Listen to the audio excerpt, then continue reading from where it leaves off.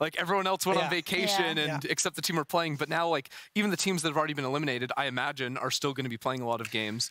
Um, yeah. I mean, I think that yeah, that's always uh, not, not a problem. We don't call it problems. Uh, we call it challenges. It's a it's a big challenge. Uh, always at the end of the tournament, right? Um, I think uh, our coaching staff usually figures out very quick, uh, and you usually want to play the the best team. So for to, for Yourself. best best practice, right? Yeah.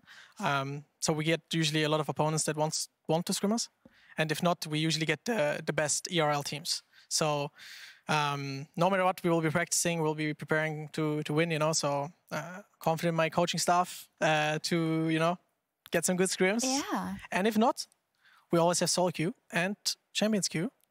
There we go. So always on the grind. Um, and if you're not on the grind, we're being held accountable by our management. do you Shout know who's uh, owning the? Oh, sh- do the shout out. Oh, shout out to Romain and Ruff and Isma.